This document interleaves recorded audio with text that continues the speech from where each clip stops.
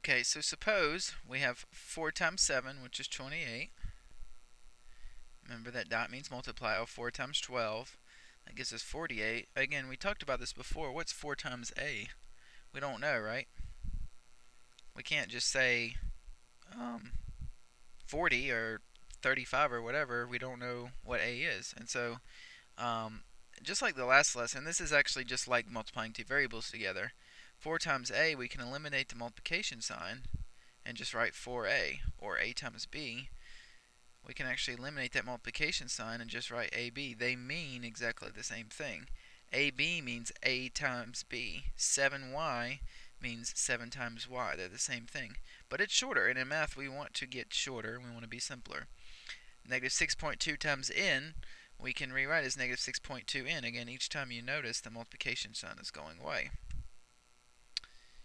And uh, as a refresher, just like we talked about last time, if you have two numbers next to each other and they're in parentheses, that means multiply.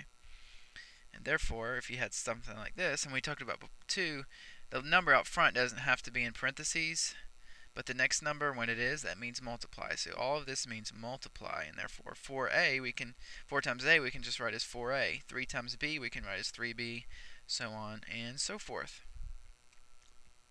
So of this lesson is simplify a constant times a variable. Now guess what? There's a couple cases, there's a couple examples on here where they aren't variables but they act like variables and we're going to look at that together. So c a lot of times in math means constant. So if we have a constant times a variable and most of the time we use x then we can just write it as cx. In other words, just get rid of that multiplication sign and we know that when those two things are next to each other that means multiply. So let's look at this example together. 8 times x, if we simplify that, okay, and remember simplify means make as short and simple as possible, we can get rid of the multiplication sign and just have 8x. 8x means 8 times x. So let's say x was 10. Then what would 8x be? We're getting hopping ahead a little bit here, but if x was 10, 8 times 10 give you 80, right? But we don't know what x is, so we can't write that. But that's just an example. Sometimes it helps to plug in numbers for variables, just so you can understand what's going on. Okay, next example. What number times r gives you negative 1.9r? Well, all we actually did is get rid of the multiplication sign, right? And if that's true, then these two numbers must be the same. Therefore, the answer is negative 1.9. Negative 1.9 times r gives you negative 1.9r. Okay, 5 halves times what gives you 5 halves a? Well, if we're just getting rid of the multiplication sign, then that means that this and this must be the same, and therefore the answer is a. How about 3 times, and again, this is focusing mostly on 2, but we're going to do 3 this time. 3 times r times s gives you what if you simplify it or make it shorter? Well, actually all you can do is kind of ignore these multiplication signs, right? Then you have 3rs, and therefore we know what goes in the box, 3rs. Let's look at some more examples. Pi times r. Now, that looks like two variables, right? And in a way, we're going to see in uh, next lesson, we can treat these kind of like variables, uh, like pi and e and stuff. But pi is a constant, okay?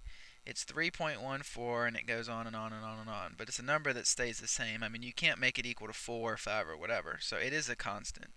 Anyways, again, what we can do is we can kind of just ignore um, this multiplication sign, right? And just write pi r. And pi r means what? Anybody know? Means pi times r. And you'll see that a lot. You'll see that, for example, in um, the circumference equation. Circumference equals 2 pi r. That means 2 times pi times the radius, or area equals pi r squared. And that just means multiplying. Okay, so remember I talked about. Uh, well, let's look at let's look at. Well, we'll move on to a couple more examples in a second.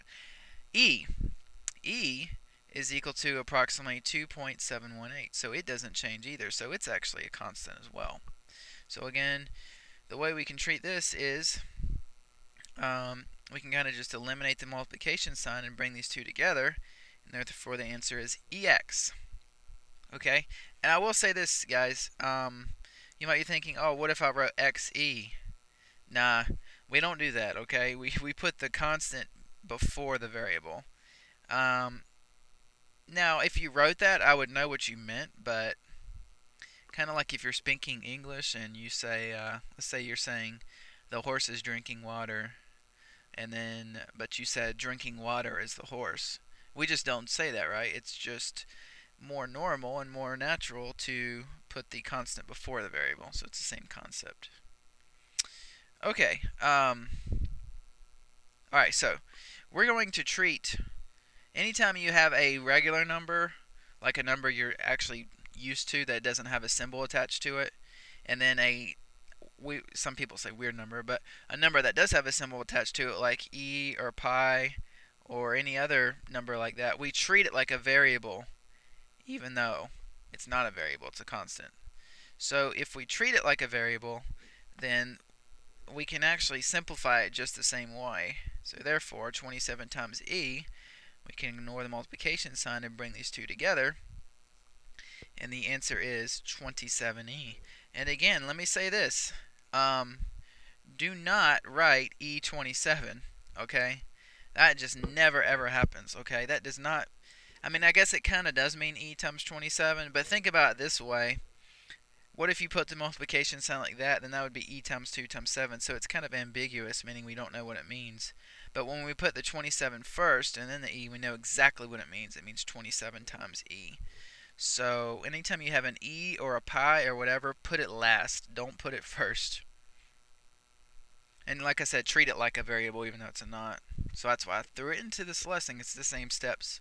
So if we have 4 times pi, we can eliminate the multiplication sign bring these two together, and the answer is 4 pi.